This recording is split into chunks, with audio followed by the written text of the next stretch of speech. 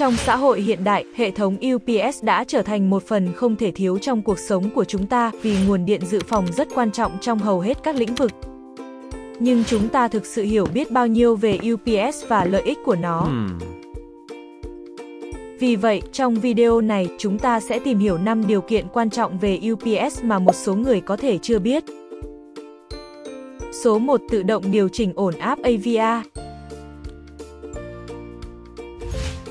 Nhiều người đã mua hệ thống UPS chủ yếu là vì chúng có thể bảo vệ và cung cấp năng lượng dự phòng cho thiết bị khi mất điện. Tuy nhiên, có những vấn đề về điện khác như điện áp không ổn định cũng có thể làm hỏng các thiết bị điện tử của bạn. Để ngăn chặn loại sự cố này, một số hệ thống UPS được thiết kế với bộ điều chỉnh điện áp tự động. Khi điện áp cấp vào quá cao hoặc quá thấp, AVR có thể điều chỉnh và đảm bảo điện áp đầu ra nằm trong phạm vi bình thường. Điều đó không chỉ bảo vệ các thiết bị không được kết nối với điệp áp thấp, điện áp cao mà còn giúp kéo dài tuổi thọ ắc quy của UPS.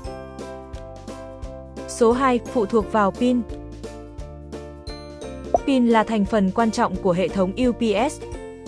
Tuy nhiên, pin là vật tư tiêu hao và tuổi thọ của chúng bị ảnh hưởng bởi nhiều yếu tố, chẳng hạn như lão hóa, nhiệt độ, chất lượng điện năng và thời gian xả hoàn toàn. Ví dụ, nếu pin UPS được bảo quản hoặc hoạt động ở nhiệt độ trên 25 độ C, chúng có thể trở nên kém hiệu quả vận hành hơn và có tuổi thọ ngắn hơn theo thời gian. Do đó, điều quan trọng là phải giữ cho pin hoạt động tốt nếu bạn muốn UPS của mình ở tình trạng tốt. Số 3. Tương thích máy phát điện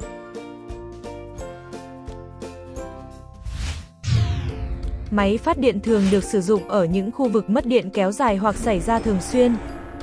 Đồng thời, chúng cũng được sử dụng rộng rãi trong các ứng dụng trung tâm dữ liệu. Nhưng tại sao nên sử dụng hệ thống UPS cùng với máy phát điện? Có rất nhiều ưu điểm khi làm điều đó. Ví dụ, khi mất điện, hệ thống UPS có thể như một cầu nối cung cấp nguồn điện để giữ cho thiết bị của bạn hoạt động trong thời gian đệm để máy phát khởi động. Ngoài ra, nếu UPS là loại chuyển đổi kép trực tuyến hoạt động với máy phát điện, nó có thể cung cấp một nguồn điện năng chất lượng tốt nhất với bất kể tình trạng nguồn điện của máy phát điện. Số 4. Tiết kiệm năng lượng để đối phó với chi phí cho năng lượng tăng cao và nâng cao nhận thức về môi trường trên toàn thế giới, CyberPower cung cấp các hệ thống UPS với công nghệ Green Power UPS thương hiệu đã được cấp bằng sáng chế giúp UPS cải thiện hiệu quả hoạt động và loại bỏ tổn thất điện năng không cần thiết. Nhìn chung, các hệ thống UPS có thể giảm mức tiêu hao điện năng lên tới 93% và giúp người dùng tiết kiệm tiền trên hóa đơn tiền điện của họ. Số 5. Quản lý ứng dụng đám mây